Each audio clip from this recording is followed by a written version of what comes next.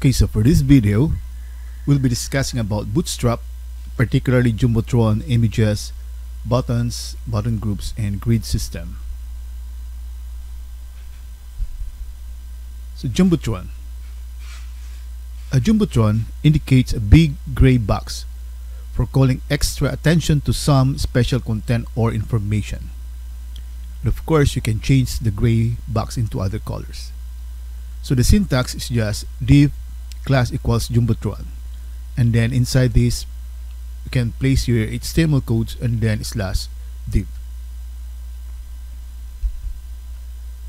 So here's an example. So this is our template and you can download this template using the link below this video. So this will already include the necessary files the job, uh, jQuery files, JavaScript files, and the CSS files used by Bootstrap. So again, this is the demo. This is the same template. And then here, I'm going to create a Jumbotron. So I have here division class equals Jumbotron slash div. And then inside this, I have here my h1.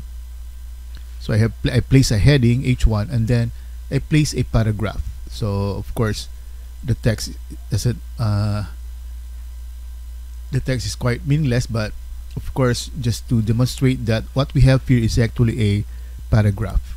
So that means I have heading and a paragraph inside my Jumbotron. So if you're going to display that, this will be the appearance. So we have a gray box, and then we have our heading one, and below heading one we have the paragraph. So that's Jumbotron. And Bootstrap images. So we have also classes that will format images using Bootstrap. So first we can use the rounded class to display image with rounded corners. So to, to use this we just type or we just place in our code img and then class equals rounded. Okay, so the corners will be rounded for the images. And similarly, we can also use the rounded circle class to shape the image into a circle. So if you want a circular image, then you can use rounded circle class.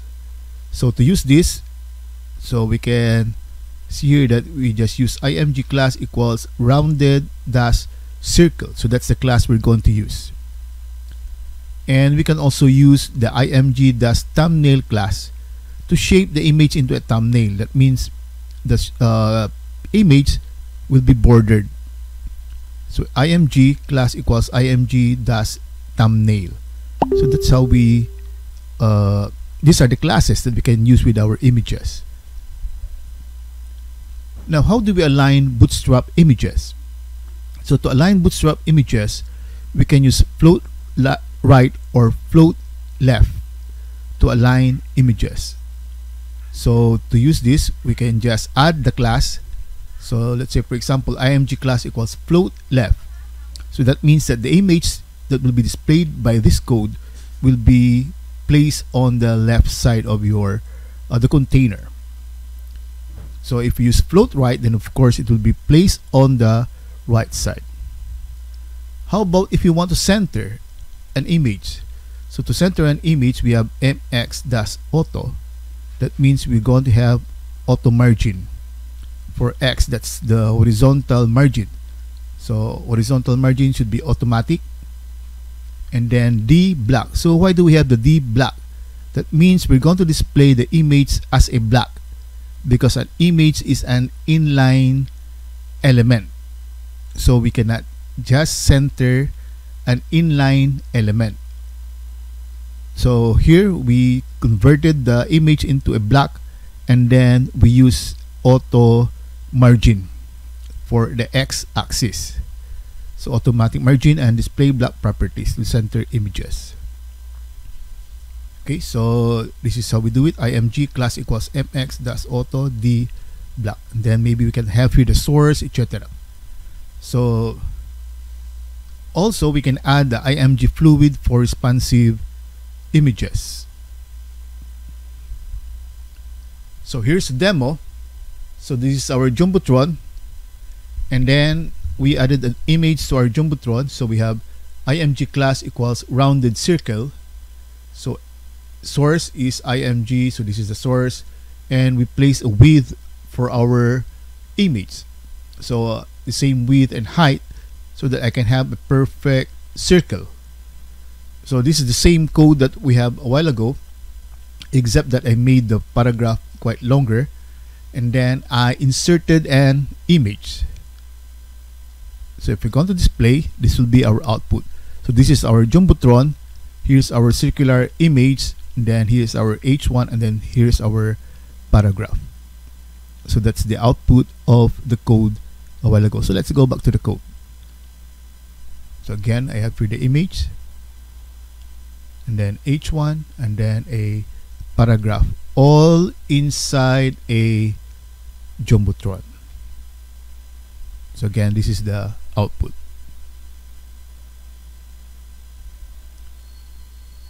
Then let's try to change the image. So instead of uh, the rounded image, we use IMG thumbnail and we use float right. So we have two classes here, but the same, still the same width and height, the same code except for the class that we use for our image. So you notice here now that our image is now on the right side and it is now bordered white. So that's the thumbnail, image thumbnail.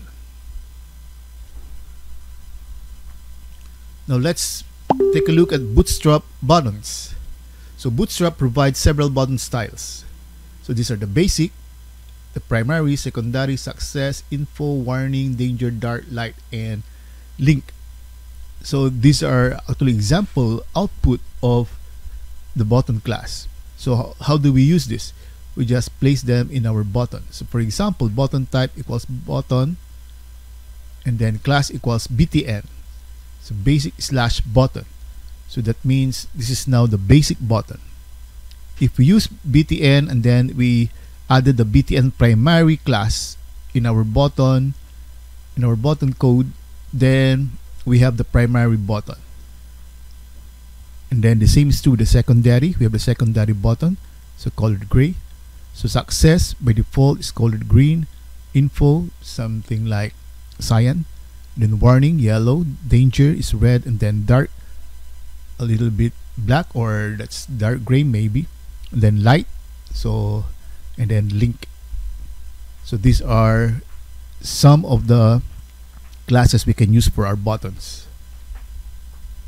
Now we can also use or we can have our button outlined just like in this case. So what we're going to do is similar to what we have a while ago but so we have your BTN and then BTN dash outline dash primary. So we just inserted the dash outline so that what we're going to have are outline buttons. So similar with our code a while ago, but again we insert the outline. So the output will be like this. We have button outlines. We can also change the sizes of our buttons. So by default, we can use the BTN LG for large buttons. If we don't place anything, that's the default size. And BTN SM for small buttons.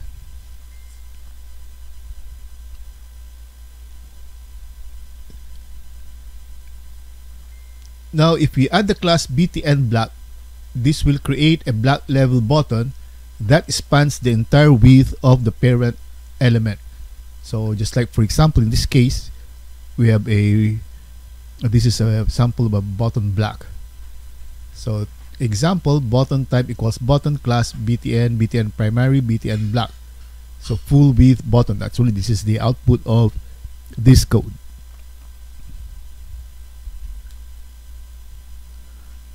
A button can be set to an active or a disabled state. So when it is disabled, that means it is unclickable. So the class that active or the active class makes a button ap appear pressed and the disabled attribute makes the button unclickable. Note that the A elements do not support the disabled attribute and must therefore use the disabled class to make it visually appear disabled. So in this example, button type equals button class btn btn primary active so it is the appear to be pressed so active primary button type button class equals btn btn primary disabled. Then you notice that this is quite grayed or the color is different and it is it becomes unclickable. So here in our demo we have here again our image then heading and then below our paragraph. So this is our paragraph. Below our paragraph we place here a button only two buttons. So one is for registering and the other button is for login. And both are large buttons. And I have here ML dash one. That means margin left dash one. So the first uh, set of margin. So setting or margin. So I think there are five settings margin settings. So here I have here now my output. Now. And then here's a paragraph. Then here's my image. And then below are two buttons register and log in. Now let's discuss the bootstrap grid system. So the bootstrap grid system is built with flexbox and allows up to 12 columns across the page or 12 columns per row or across a page. If you do not want to use 12 columns individually, you can group the columns together to create wider columns. So, in, like in this example, we have 12 spans. And then you can also have wider columns by having four spans combined. Or we can have spans with different width but again if you add let's say for example here 4 4 4 that will be equivalent to 12 here also 4 and 8 that's equivalent to 12 6 and 6 that's equivalent to 12 or we can have a single column so span of 12 so the grid system is responsive and the columns will rearrange automatically depending on the screen size. So make sure that the sum adds up to 12 or fewer. It is not required that you use all 12 available columns so it can be fewer than 12 so bootstrap grid classes so bootstrap 4 grid system has five classes this is the dot call so for extra small devices that is these are devices with screen width less than 576 pixels Call SM for small devices, screen width equal to or greater than 576. Call MD or medium devices, screen width equal to or greater than 768. So large screen width is equal to or greater than 992. And call XL, so extra large devices, screen width equal to or greater than 1200 pixels. The classes above can be combined to create more dynamic and flexible layouts. So each class scales up, so if you wish to set the same width for SM and MD, you only need to specify SM. Okay, so again, if you want to use SM and MD, you just specify SM. In fact, most of the time in my case, I usually just use SM. So here's an uh, here's a some sort of a structure or a template. So first is we have to define the row. So class row and then inside the row is where we define the columns. So again row and then you define the columns. So you change the asterisk whether for example you use MD or SM or LG and then you place here the numbers. So let's say for example I use SM-6.